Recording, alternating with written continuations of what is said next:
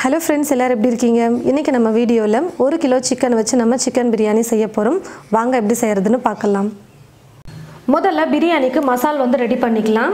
எப்போவுமே நம்ம வீட்லேயே மசாலாலாம் அரைச்சி செய்யும்போது நல்லா டேஸ்டியாக இருக்கும் பிரியாணி சாப்பிட்றதுக்கு. ஸ்டவ்வை பற்ற வச்சுக்கிட்டு ஸ்டவ் மேலே ஒரு பேன் வச்சுக்கிட்டு பேனை வந்து மீடியம் ஃப்ளேமில் வச்சுட்டு நம்ம வறுக்கணும் எல்லா மசாலாவையும் சேர்த்து.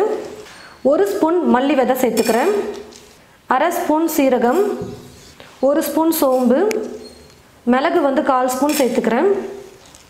ஒரு அனாச்சிப்பூ எட்டு லவங்கம் சேர்த்துக்கிறேன். பட்டை வந்து பார்த்திங்கன்னா இந்த அளவுக்கு நான் ரெண்டு துண்டு சேர்த்துருக்கேன். அரை ஸ்பூன் கசகசா சேர்த்துக்கிறேன். ஆறு ஏலக்காய். ஒரு சின்ன துண்டு அளவுக்கு கல்பாசி எடுத்திருக்கேன். கொஞ்சமாக எடுத்துக்கிட்டால் போதும் ரொம்ப அதிகமாகலாம் சேர்க்கக்கூடாது. இது வந்து பார்த்திங்கன்னா ஜாவித்ரி ஜாதி பத்திரின்னு சொல்லுவாங்க. இது வந்து பாதி பூ தான் நான் சேர்க்க போகிறேன் எல்லாத்தையும் சேர்த்து கொஞ்சம் லைட்டாக வறுத்துக்கிட்டால் போதும். ஒரு நிமிஷம் வறுத்தா போதும். ரொம்ப நேரம்லாம் வறுக்க வேணாம்.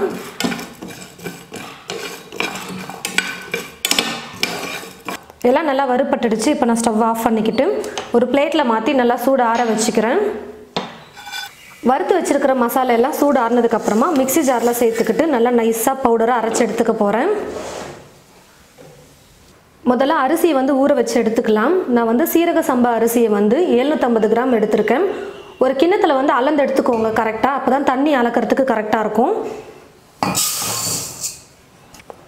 தண்ணி ஊற்றி அரிசியை அரை மணி நேரத்துக்கு ஊற வச்சுக்க போகிறேன் ஸ்டவ்வை பற்ற வச்சுக்கிட்டு ஸ்டவ் மேலே ஒரு அடி கனமான பாத்திரம் வந்து வச்சுருக்கேன். பிரியாணிக்கெல்லாம் நல்லா கனமாக இருக்கிற பாத்திரமாக எடுத்துக்கோங்க. அப்போ தான் அடி பிடிக்காத மாதிரி செய்ய முடியும். பாத்திரம் நல்லா சூடேறினதும் எண்ணெய் சேர்த்துக்கிறேன்? பிரியாணி செய்யும்போது எப்போவுமே நெய் சேர்த்து செஞ்சோம்னா நல்ல மணமாக இருக்கும். டேஸ்ட்டும் ரொம்ப சூப்பராக இருக்கும். ரெண்டு ஸ்பூன் அளவுக்கு நெய் சேர்த்துக்க போகிறேன் எண்ணெய் நெய் நல்லா காஞ்சதுக்கப்புறமா அஞ்சு கிராம்பு அஞ்சு ஏலக்காய் மூணு துண்டு பட்டை ஒரு அன்னாச்சி பூ மூணு பிரியாணி எல்லாம் சேர்த்துக்கிறேன். இது கூடவே நாலு பெரிய வெங்காயம் எடுத்து நான் நல்லா மெல்லிசாக நீளமாக கட் பண்ணி வச்சுருக்கேன் அதை சேர்த்துக்கிறேன். பிரியாணிக்கெல்லாம் வெங்காயம் வந்து கொஞ்சம் நிறையா சேர்த்து செய்யணும். நல்லா பெருசு பெருசாக இருக்கிற வெங்காயமாக பார்த்து நாலு எடுத்திருக்கேன் நான். வெங்காயம் சேர்த்ததுக்கப்புறமா நாலு பச்சை மிளகாய் எடுத்துருக்கேன் அதையும் சேர்த்துக்கிறேன். வெங்காயம் வந்து ரொம்ப நேரம் வதக்கணும் பிரியாணிக்கு. நல்லா வெங்காயம் வதங்கி பொன்னிறமாக அப்படியே ப்ரௌன் கலரில் வரும் பாருங்கள் அந்த அளவுக்கு நம்ம நல்லா வதக்கணும்.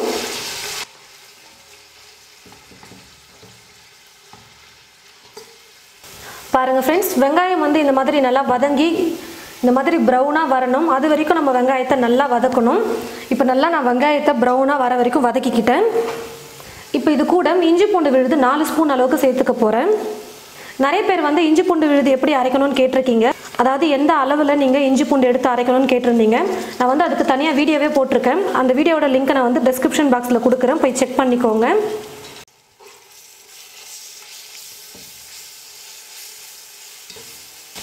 இஞ்சி பூண்டு விழுது சேர்த்து ஒரு நிமிஷம் நல்லா வதக்குனதுக்கு அப்புறமா ரெண்டு தக்காளி பழம் எடுத்து கட் பண்ணி வச்சுருக்கேன் அதை சேர்த்து வதக்கிக்கிறேன். நம்ம சேர்த்துருக்கிற தக்காளி வந்து தெரியவே கூடாது. நல்லா வெந்து நல்லா மசிஞ்சு வரணும். அந்த அளவுக்கு தக்காளியை நல்லா வதக்கணும்.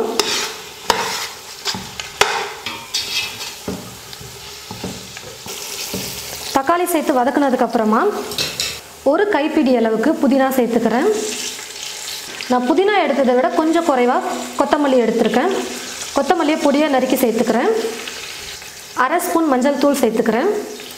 பிரியாணிக்கு தேவையான அளவுக்கு உப்பு. அரைச்சி எடுத்து வச்சுருக்கிற பிரியாணி மசாலா வந்து நான் இப்போ இதில் சேர்த்துடுறேன். இது கூடவே காரத்துக்கு மிளகாய் தூளும் சேர்த்துக்கிறேன். நல்லா காரசாரமாக இருந்தால் தான் பிரியாணி சாப்பிட நல்லா டேஸ்ட்டாக இருக்கும். அதனால் ரெண்டு ஸ்பூன் அளவுக்கு வெறும் மிளகாய் தூள் சேர்த்துக்கிறேன். இப்போ இது எல்லாத்தையும் சேர்த்து லைட்டாக வதக்கிக்கலாம். ஸ்டவ்வை வந்து மீடியம் ஃப்ளேமில் வச்சுக்கிட்டே கொஞ்சம் வதக்குங்க. மசாலா சேர்த்ததுக்கப்புறமா மசாலாலாம் சேர்த்து மிக்ஸ் பண்ணதுக்கப்புறமா இது கூட தயிர் சேர்த்துக்க போகிறேன் தயிர் வந்து நூறு மில்லி அளவுக்கு எடுத்திருக்கேன். இப்போ நான் தயிர் சேர்த்துக்கிறேன். ஒரு கிலோ சிக்கனுக்கு நூறு மில்லி தயிர் கரெக்டாக இருக்கும்.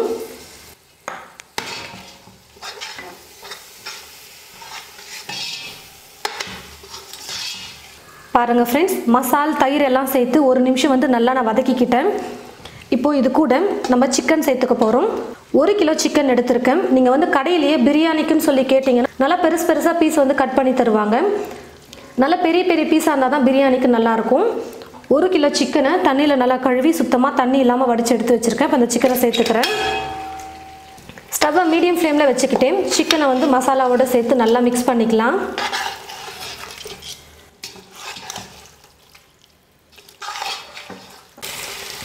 பாருங்கள் ஃப்ரெண்ட்ஸ் மசாலாவை வந்து சிக்கனோட சேர்த்து நல்லா மிக்ஸ் பண்ணிக்கிட்டேன். இப்போ வந்து பார்த்தீங்கன்னா சிக்கனை வந்து குறைஞ்சது பத்து நிமிஷமாவது நம்ம நல்லா குக் பண்ணிக்கணும். ஸ்டவ்வை வந்து மீடியம் ஃப்ளேமில் வச்சுக்கிட்டே பத்து நிமிஷம் நான் வந்து குக் பண்ணிக்க போகிறேன்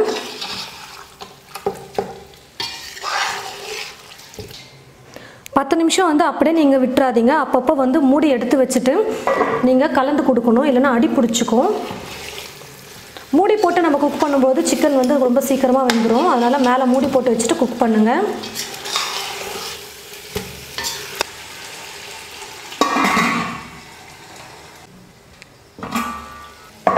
நான் வந்து பத்து நிமிஷம் வந்து நல்லா குக் பண்ணிக்கிட்டேன். சிக்கன் வந்து பார்த்திங்கன்னா ரொம்ப நேரம் ஆகாது வேகிறதுக்கு. பத்து நிமிஷமே கரெக்டாக இருக்கும் நமக்கு. இப்போ வந்து சிக்கன் வந்து பார்த்திங்கன்னா நல்லா வெந்து வந்துருச்சு. இப்போ தேவையான அளவுக்கு தண்ணி சேர்த்துக்கலாம். நான் வந்து இந்த கிண்ணத்தில் ஒரு கிண்ணம் அளவுக்கு நான் வந்து சீரக சம்பா அரிசி எடுத்திருந்தேன். இப்போ இந்த கிண்ணத்துலேயே வந்து ஒன்றே முக்கால் அளவுக்கு தண்ணி சேர்த்துக்க போகிறேன்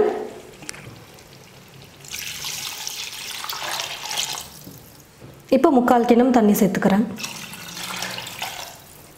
சிக்கன்லேயே கொஞ்சம் கிரேவி மாதிரி இருக்கிறதுனால ஒரு கப் அரிசிக்கு ஒன்றே முக்கால் கப் அளவுக்கு தண்ணி எடுத்தால் கரெக்டாக இருக்கும். தண்ணி சேர்த்து நல்லா கலந்து விட்டுட்டு தண்ணி இப்போ நான் வந்து கொதிக்க வச்சுக்க போகிறேன் தண்ணி நல்லா கொதிக்கட்டும். தண்ணி இந்த மாதிரி நல்லா கொதிச்சதுக்கப்புறமா அரிசியை சேர்த்துக்கலாம்.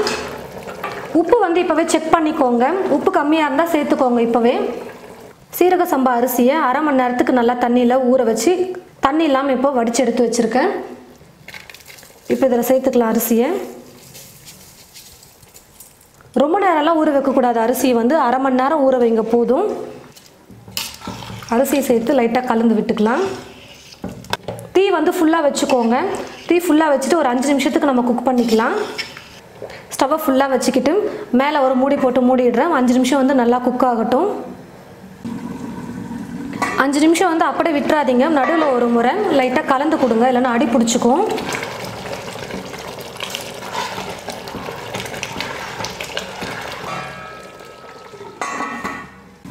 பாருங்கள் ஃப்ரெண்ட்ஸ் அஞ்சு நிமிஷம் வந்து நான் நல்லா ஸ்டவ்வை ஃபுல்லாக வச்சுக்கிட்டு குக் பண்ணிக்கிட்டேன்.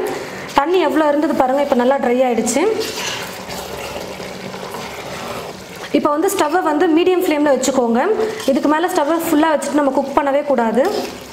எவ்வளோ தண்ணி இருந்தது பாருங்கள் இப்போ எல்லாமே நல்லா ட்ரை ஆகிடுச்சு இருக்கிற எக்ஸ்ட்ரா தண்ணியை வந்து நல்லா ட்ரை ஆகணும். அதனால் ஸ்டவ்வை வந்து மீடியம் ஃப்ளேமில் வச்சுக்கிட்டு இன்னும் கொஞ்சம் நேரத்துக்கு இருக்கிற தண்ணி ட்ரை ஆகிற வரைக்கும் குக் பண்ணிக்கலாம். மேலே ஒரு மூடி போட்டு மூடிடுறேன்.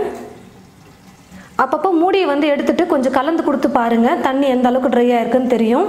அடி பிடிக்காமலும் இருக்கும். அரிசி வந்து பார்த்தீங்கன்னா முக்கால் பாகத்துக்கு தான் வெந்திருக்கணும். மீதி கால் பாகம் வந்து நம்ம தம் போட்டு வேக வைக்கணும்.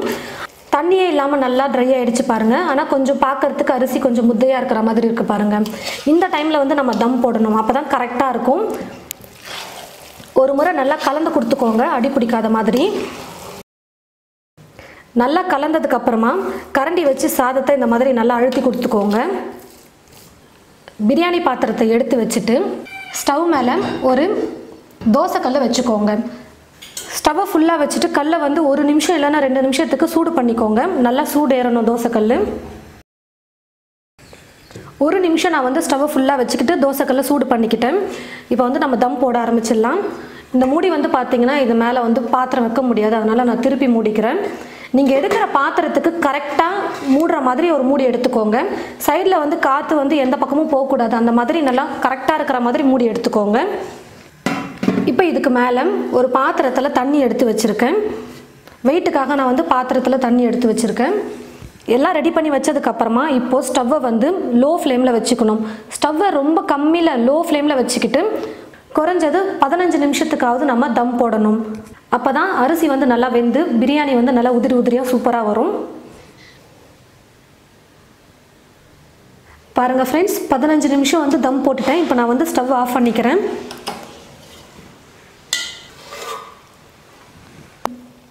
லைட்டாக கரண்டி வச்சு கலந்துக்கிறேன் பாருங்கள் நல்லா உதிரி உதிரியாக சூப்பராக வந்திருக்கு பிரியாணி.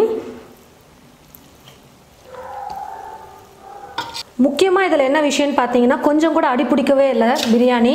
நம்ம கரெக்டாக அப்பப்போ கலந்து கொடுத்துக்கிட்டு தம் வந்து கரெக்டாக போட்டு எடுத்தோம்னா கொஞ்சம் கூட அடி பிடிக்காது. பிரியாணி வந்து நல்லா சூப்பராக இருக்கும். சிக்கன் பீஸ்லாம் அப்படியே உடையுது பாருங்கள் அந்த அளவுக்கு நல்லா சிக்கன் சாஃப்டாக வெந்து சூப்பராக வந்திருக்கு. இப்போ சிக்கன் பிரியாணிக்கு நான் வந்து தயிர் பச்சடி ரெடி பண்ணிக்கலாம். தயிரை வந்து ஒரு கப்பில் மாற்றிக்கிறேன் உப்பு கொஞ்சமாக சேர்த்துக்கிறேன். வெங்காயத்தை வந்து நல்லா மெல்லிசாக இந்த மாதிரி நீள நீளமாக கட் பண்ணிங்கன்னா பச்சடி வந்து சூப்பராக இருக்கும். இது கூடவே கொஞ்சம் நான் வந்து கொத்தமல்லி சேர்த்துக்க போகிறேன் நீங்கள் வெறும் வெங்காயம் மட்டும் சேர்த்துக்கலாம் பச்சடிக்கு. இது கூட நீங்கள் வெள்ளரிக்காய் இருந்தால் அதை கட் பண்ணி சேர்த்துக்கலாம். தக்காளி வேணும்னா அதுவும் சேர்த்துக்கலாம். நான் வந்து வெறும் வெங்காயம் மட்டும் போட்டி இப்போ பச்சடி செய்கிறேன் எல்லாத்தையும் சேர்த்து நல்லா மிக்ஸ் பண்ணிக்கிட்டேன். இப்போ ஆனியன் ரைத்தா ரெடி ஆகிடுச்சு பாருங்கள் ஃப்ரெண்ட்ஸ் ரொம்ப டேஸ்டியாக வீட்லேயே நம்ம மசாலாலாம் ரெடி பண்ணி ஃப்ரெஷ்ஷாக நம்ம சிக்கன் பிரியாணி செஞ்சுருக்கோம்.